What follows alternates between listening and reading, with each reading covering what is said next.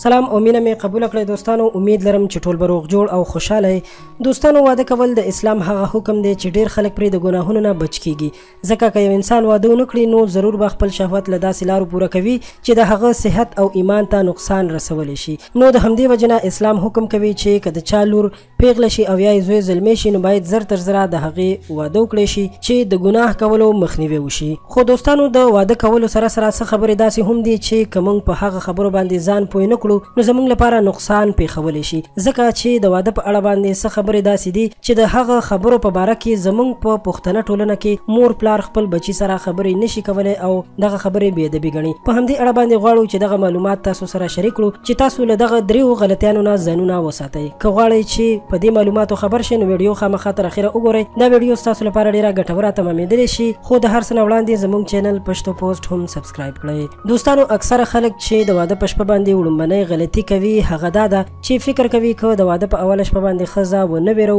او هغې ته خپله غوسه ونه ښیو نو د هغې به زموږ نه حیا نه کیږي که څه هم نن سبا د تعلیم سره سره خلک هوښیار شوي دي او داسې کارونه نه کوي خو اوس هم په زیاتره کلو کې داسې په نظر راځي چې د واده په اوله شپه باندې ښځه ووهي ویې ټکوي او ظلم ورسره وکړي نو باید هیڅکله هم داسې ونه کړی شي هر انسان ته دا فکر په کار دی چې ښځه هم د یو چا خور لور ده او د الله تعالی بنده ده هیڅکله پرې هم ظلم کول نه دي په کار او هغې سره داسې رویه کول په کار دي لکه څنګه چې انسان د ژوند ملګري سره رویه کوي ځکه چې ښځه زموږ د ژوند تر ټولو ښه ملګری دی نو له دغسې ظلم نه بايد ځانونه وساتو ځکه چې د دې انجام ډېر خراب کېدلی شي. دويمه غلطي چې اکثره خلک يې کوي هغه دا ده چې فکر کوي که د واده په اوله شپه باندې د ښځې د بکارت پرده روغه وه او د هغې نه وينه لاړه نو دغه ښځه به روغه وي او که د واده په اوله شپه د ښځې نه وينه لاړه نه شوه او د بکارت پرده يې روغه نه وه نو دغه ښځه به بدکرداره وي او خرابه به وي. نو دوستانو دا خبره باید په یاد ولرو چې د طبي ماهرینو د ریسرچ او د څیړنو له مخې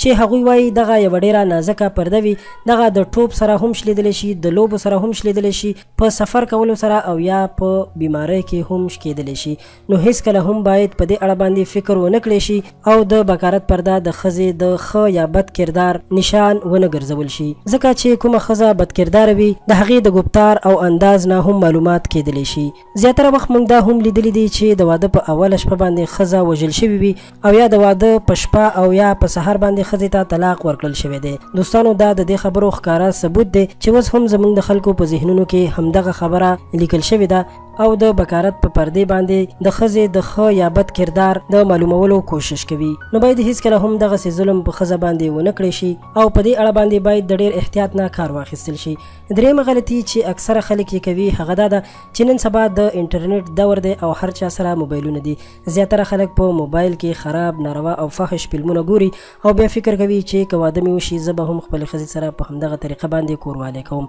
د واده نه وروسته چې کله دوی کوشش کوي ښځې سره په همدغه طریقه باندې کوروالی وکړي نو هغوی په دغه طریقه باندې کوروالی نشي کولی او هغوی ته ډیر زیات زور ورکوي او درد ورکوي نو باید له داسې کارونو نه هم ځانونه وساتل شي وړومبنی خو تاسو ته دا وایم چې ناروا او فحش فلمونه مه ګورئ ځکه چې دا ستاسو صحت او ایمان دواړو ته نقصان درکولی شي او هیڅکله هم دا کوشش مه کوئ چې په دغه طریقو باندې خپلې ښځې سره کوروالی وکړئ ځکه چې په فلمونو او ډرامو کې کوم شیان ښودل کیږي د هغې لپاره دوی دوایانې او کریمونه استعمالوي او هغه د یو فلمي ژوند قصه وي نو باید هیڅکله هم هغه په حقیقي ژوند کې استعمال نه کړی شي ځکه چې ډیر لوی نقصانونه لرلی شي نو له دغسې ظلم او غلطۍ نه هم باید ځان وساتل شي او هیڅکله هم د انګریزانو عادتونه ونه کړی شي شي دا درې وې هغه لویې غلطیانې چې تاسو سره مو شریکې کړې امید لرم چې دا ویډیو به ستاسو لپاره ګټوره تمامه شوې وي او تاسو به ترې څه زده کړه کړې وي ویډیو در سره لایک کړئ او که تاسو هر څه نظر یا سوال لرئ موږ ته په کمنټ کې خامخا شریک کړئ له نورو ښایسته ویډیوګانو لپاره پښتو پوسټ چینل سبسکرایب کړئ ډیره ډیره مننه